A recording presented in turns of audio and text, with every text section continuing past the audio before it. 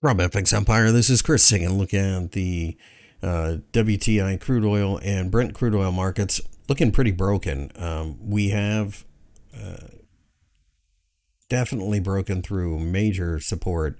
So I think at this point, probably going to 67 and a half, fading short-term rallies. Same thing over here in Brent. We broke through that little box.